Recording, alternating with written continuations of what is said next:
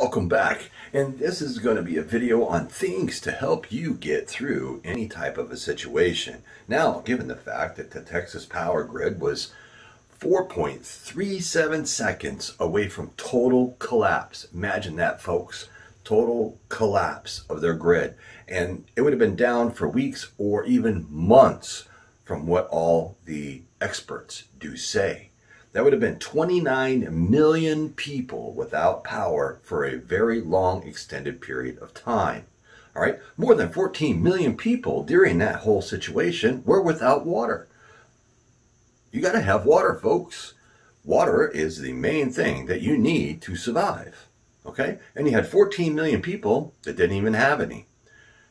I did a video on, you know, what happened with the Texas thing and all. I showed a bunch of pictures and stuff, and it's just, it was devastating you know? You also have to remember, the grand solar minimum started in 2020. It's going to last through 2053, okay? And the decades between 2031 and 2043 will be the ultimate worst. Don't mean to be the bearer of bad news, but this is what you got to plan for. So this video here is going to show you a lot of different things that you're going to want to make sure that you have to make sure that you can survive when all these different types of catastrophic events are going to start taking place that we have no control over. This has nothing to do with anything with the government or any this type of stuff. National catastrophic events which we can't control or stop. So stay tuned and I'm going to start to show you some of the products to give you a great idea where to start you can add all kinds of things to this. All depends on what your budget may be. So here we go.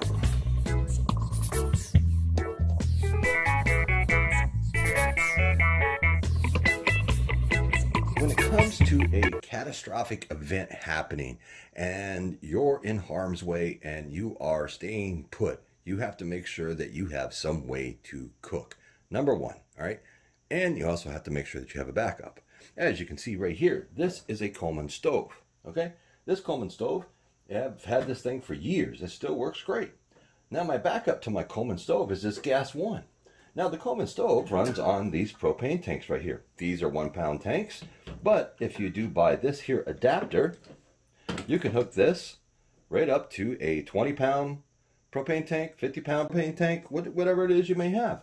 Your, your lantern here also runs on these tanks and it will be connect to this hose here and you could have light somewhere wherever you need it. Now this gas one runs on butane. So you buy these butane little canisters right here. So you have a backup. You have an oven here that connects to your Coleman stove. And this way here, you could do even some baking and stuff in a grid down situation. So if you wanted to do some bread, if you had to make bread, if you wanted to make biscuits, whatever you wanted to do. Chocolate cake, hey, there you go. It's a grid down situation. Might as well eat away and be happy. So you can buy one of these, connects right to your Coleman stove, and boom, you got an oven. Now, in any one of these set here products, you got to make sure that you have some way to light them. Correct, people? So you have your matches, you have Bic lighters, you can get these grill lighters, which are really great, and you just want to make sure that you have several different ways to light these products so that you can cook and maybe see what you're doing in the meantime. Now, let's move on over here a little bit. And let me just adjust the camera. Hold on with me, folks. All right, we're just going to move over just a little. We're doing this in a little bit of segments. All right, water. Like I talked about, there was 14 million people without fresh drinking water. Okay, they were under, if they did have water, it was under a boiled order situation and everything else. So you want to make sure that you have stuff. All right, a LifeStraw, very cheap, very easy to use, and you get fresh, clean water. All right, you can pick these things up right in Walmart. They're not that expensive at all. So it's a very, very good thing to have in your emergency pack. First aid, you got to make sure that you have all types of first aid. Now I've done videos on a lot of all this different types of products, but we're talking about what you need as a basic plan that you can go by to make sure that you have some things. Now, this is just a kind of a rundown of some of the things that you may want to have in your emergency supplies. For one, it just gives you an idea. For two, you can add anything you want to any of this. This is just to get you an idea and get you people thinking. Now, another situation. You may want to pick up one of these here tools right here. All right. This is your water and gas and utilities shut off. All right. A lot of people during this storm that they had in Texas, all right, they couldn't turn their water off at the main and the water was just gushing through their ceilings and floors and everything else and they had a huge mess. If you would have this tool here, you can go right out to your main, you use this end right here, you put it down in there, you twist, and guess what, folks? Your water is shut off and your situation has become under control. This is your gas shut off. Either one of these, depending on what type you have. All right, these little tools right here, you can get them on Amazon, less than 12 bucks. Now, you want to get into make sure that you have some lighting and things. So let's adjust the camera again. I'll be right In an emergency type situation, remember, you're going to need some type of lighting. Okay, now you can get all different types of lights and stuff, but you know what I would really suggest is making sure that you have a good headlamp, maybe even a backup to your headlamp. All right, in case this one goes dead, you can charge it and then put the other one on. Having something that gives you hands free, folks, this way here, if you got to work on something, fix something, do something, do anything, all right, your hands are free, both of them, not just one, both. And it just makes things so much easier, all right? You can also go, I did a review and stuff on these, on the GearLight, all right? These are great, sturdy, waterproof flashlights, solid metal, everything else comes with the great pouch right here that will attach right to your belt, all right? Then you want to make sure that you have an emergency radio of some type. Okay? Whatever one you want to pick up. It doesn't matter. You can spend as much as you want. I mean, they range in prices from, you know, 10, 15 bucks up to whatever it is. You know, 80, 100 bucks. It just depends on what you want. But you can pick up a small little radio like this for under 20 bucks and you can get all the emergency information that you're going to need to get through the catastrophic event that is taking place. All right, you can also pick up a Baofeng. You can get your weather reports and everything on here. You can talk on this in an emergency. All right, if it's not an emergency, if you don't have a, uh, the proper license, you cannot speak on this. But in an emergency type situation, you can talk on this radio. Remember that. Something else you want to make sure that you may have. All right, some type of walkie-talkie communication between you and somebody, say, in somewhere else, in your house. Say you're outside, you're working, or the, you know somebody had to go do something or whatever else. These have a 10-mile radius on them. They work very well, and they're made by Motorola. I've had these things for 20 years, and they still work great. There's no need to buy anything new because they still work. The range is still good. One-time investment. This way here, you can communicate between... Now you want to make sure that you have some knives, all right? A good sturdy knife to make sure that you can do whatever you may need to do. All right, something that is going to take a beating and make it through and help you out in your situation. Pocket knife, Swiss Army pocket knife, has all kinds of attachments and stuff. You know, that's a good tool to have because you can carry it right in your pocket or just a regular one blade pocket knife. Doesn't really matter. Now, moving on back here, all right, battery backups and battery banks. Whoa, we almost lost that one. All right, you can pick up all different types in any different price range and everything else. The biggest thing is, is you have something where you can charge it with solar panels, all right, and you can still charge your cell phones. You can run your internet. You can do whatever as long as the lines and stuff, you know, aren't down. There's different things that you can do with these things. You know, they come in handy for a lot of different projects and everything else. Most of them all do have like USB ports, uh, a, a regular plug, and everything else. And it just depends on what you want to spend. All right.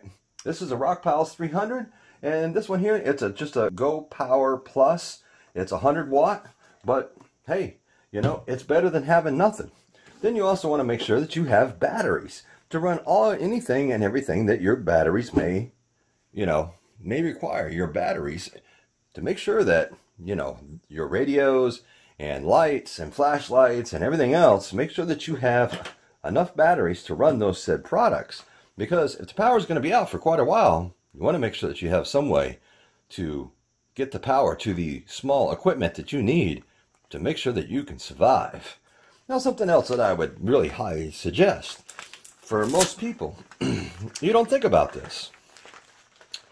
All right? Backup. This is an external hard drive, one terabyte. All right? You want to make sure this way here, you can back up everything on your computers and everything else, and you can put it all on here. You can put it into this bag right here, which is a um, EMP bag that I purchased online.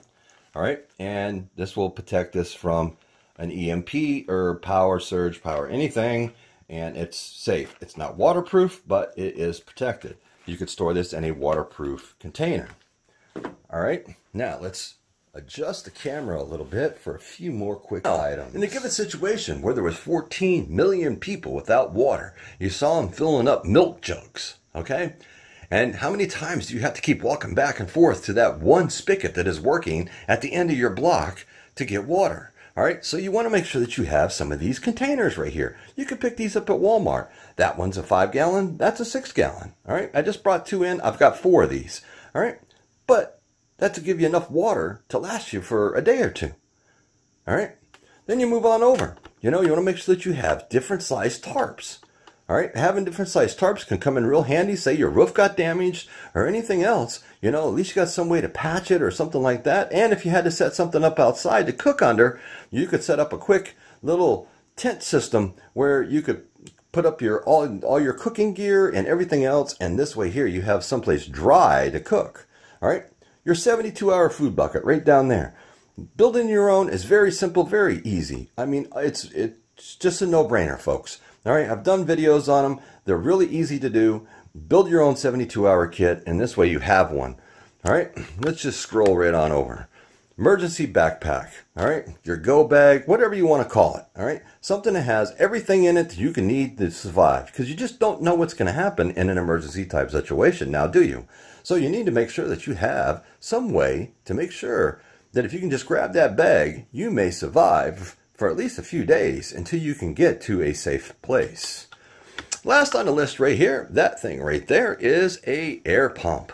All right, you never know if you're going to get a flat tire, you run over something, anything like that. You might want to make sure that you have some way to plug your tire, and that there would also air your tire up. Now that that that compressor right there will air up anything from a regular car tire to a tractor tire to a truck tire all different types. It has all the different attachments and everything else. You can get that on Amazon for about 50 bucks. So this has been some of the things that you may need in an emergency type situation. Okay, folks? It's just some stuff that you want to make sure that you have.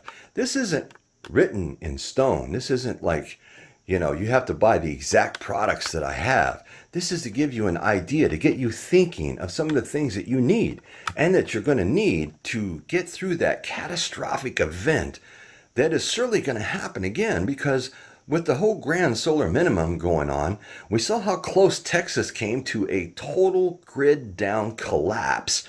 And it was just, what would you do? How would you provide for your family? That is the number one question, folks. So if you have any questions on any of these products or anything, reach out to me, put them in the comments below. I'll try to get back to you as soon as possible. And this way here, you can secure your family's future in being prepared. A little bit is better than nothing, right?